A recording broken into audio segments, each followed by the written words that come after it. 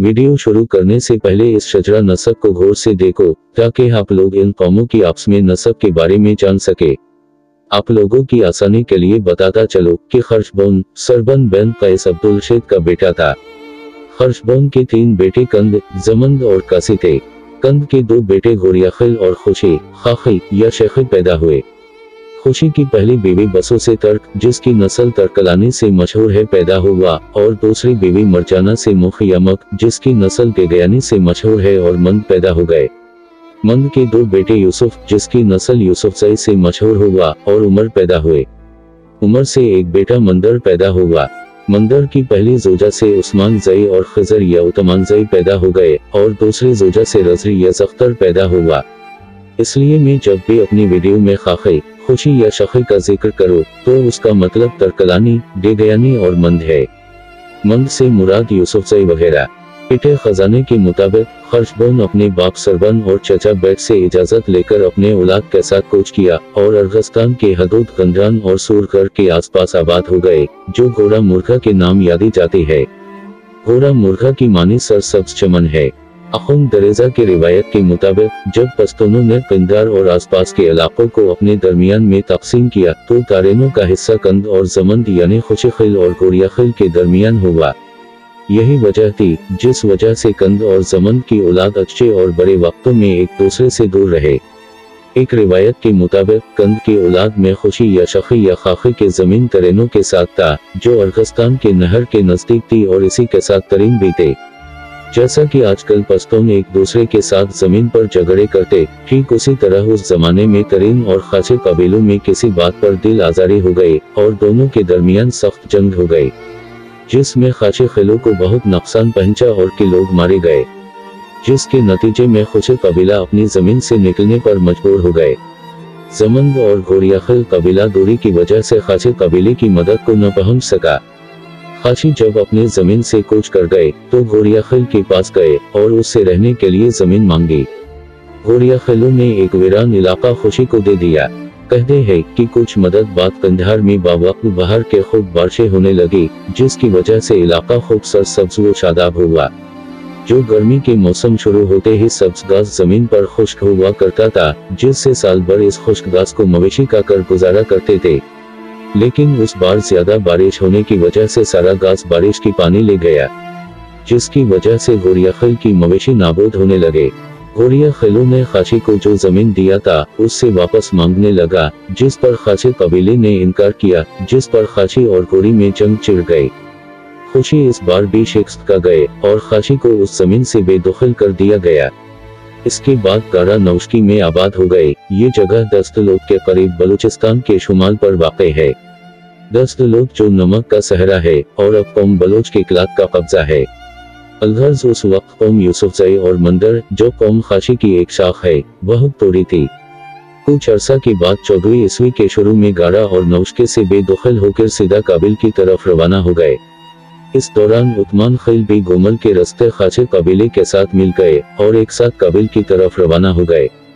उसी दिन से उतमान खिलो और खाशी में उतफाक और गोंद कायम हो गई काबिल पर आबाद होने के कुछ मदद बाद मोहम्मद जई जो जमंद का एक शाख है, अपने भाइयों से किसी बात पर नाराज़ हुआ और खाखे खिलो के साथ हो गए।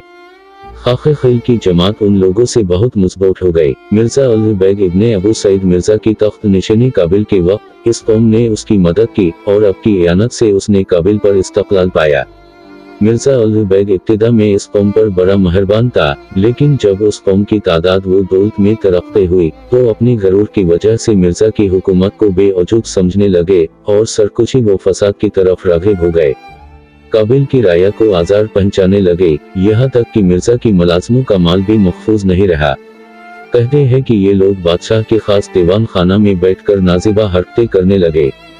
उन हरकतों से बादशाह इतना तंग हो चुका कि इस कौम को अखराज के बारे में सोचने लगा। चूँकि अब मिर्ज़ा अलबैक का अख्तियार ज़्यादा हो गया था और अपने हम कौम मुगलों के आने से काफ़ी ताकतवर हो गया था। मिर्ज़ा की अब बर्दाश्त का वक्त खत्म हो चुका था। आपने उनकी बर्बादी का सामान तैयार करने लगा। आपने सबसे पहले गगयानी और यूसुफजई में नफरत डालनी शुरू कर दी और एक दिन ऐसा आया कि गगयानी और यूसुफजई में एक औरत की इज़्ज़त पर जंग चिड़ गई जिसमें मिर्ज़ा ने गगयानों के साथ मिलकर यूसुफजई पर लुश्किर कुशी कर दी। उनमें से चंद लोग मारे गए और बाकी पहाड़ों के दरों में घुस गए। उस वक्त इस कौम में तीन शेख मशहूर थे, उनमें दो भाई मदद और दूसरा मदद जो यूसुफजई के शाखिसा जई से थे और तीसरा शेख उस्मान मिले जई से था। उन तीनों के गैब कोई पर उतबार करके उनमें से एक को प्यादों का सरदार बनाकर जंग पर आमादा हो गए। मिर्ज़ा के फौज जिसमें गगयानी भी थे यूसुफ जयू से जंग में शिकस्त खाई उस कामयाबी के बाद ये कौम बड़े फख्र से पहाड़ों से निकल गए। हाकम काबिल के पास सोलह के अलावा कोई चारा नहीं था। एक रोज जियाफत खोरी यानी मेहमान नवाजी के वास्ते नौ सौ मुशरान खाशी के मिर्ज़ा अल बैग के पास आए। ये सब लोग बेअसलहा थे। इनमें से एक महमूद वल्द मोहम्मद शाख चगजई के पास खंजर थी, जो चुपके से अपने शलवार में चौपा कर ले गई थी। जब दरबार में गए तो महमूद ने मिर्ज़ा की बदनीति देखा तो अपने हमराहियों से कहा कि अगर आप लोग कहे तो मैं मिर्ज़ा को मार डालो, मगर सबने मना किया कि हक नमक रखना चाहिए। इन सरदारों का ख्याल था कि शायद हमारे साथ कोई बुरा नहीं करेगा। लेकिन कौमे गगयानी से जिंगा नामी शख्स, जो यूसुफ सयो का दुश्मन था, उसने मिर्ज़ा को मुशवरा दिया कि इतने सारे मुशरान एक जगह बगैर किसी हथियार के नहीं मिलेगा और उस सोलह पर आपको कभी भी चीन से बैठने नहीं देंगे। इस मौके को गनीमत समझकर सबको कत्ल करना चाहिए।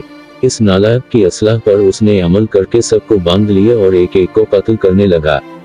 उस वक्त मलिक सुलेमान जो मलिक अहमद का चचा था, मिर्ज़ा से इल्तिजा की कि मेरा दो सवाल है। अव्वल ये कि, हमारे मरने के बाद हमारे छोटे बच्चे और औरतों कैद नहीं करना, बल्कि उसको इजाज़त दे कि वो जहाँ जाना चाहते हैं, इसे जाने दो। और दूसरा सवाल ये कि मलिक अहमद को नहीं मारना। मिर्ज़ा ने दोनों सवालों को मान लिया और कहा कि मैं तो सोच रहा था कि आप अपने लिए या फिर दूसरे 200 या 300 सरदारों के लिए सवाल करेगा। जिसके जवाब में सुलेमान ने कहा कि मेरा सर मेरे दूसरे अजीजों से अहम नहीं है, जब वो मुरते हैं तो मैं उनसे पहले मर जाने को तैयार हो। अर्ज़ ये कि मिर्ज़ा ने मलिक अहमद और बाकी कई सरदारों को छोड़कर सब कत्ल कर दिए गए। काबिल के कतब में सिया सिंह पहाड़ के दामन में एक मकबरा है, जो शहीदों के मकबरा पर मशहूर है। कहते हैं कि उस मकबरे में उन लोगों को दफन किया है। यहाँ पर शेख उस्मान मलेरी की रोजा मुबारक भी है। जो उस वक्त के एक बुज़ुर्ग और नेक इंसान था और खाखे खिलो का पेड़ भी था। ये वक्त इन कबीलों के लिए आजमाइश का वक्त था। यूसुफ सयू ने वहाँ से हज़रत करके पेशावर के आसपास के इलाके में आए और बड़ी तकलीफें उठाई। फिर एक दिन ऐसा आया कि ये लोग पेशावर से लेकर बोनीर तक काबिज हो गए। यहाँ आने की इस कौम की एक लंबी कहानी है, जिसको एक दिन ज़रूर मैं आप लोगों के साथ शेयर करूँगा।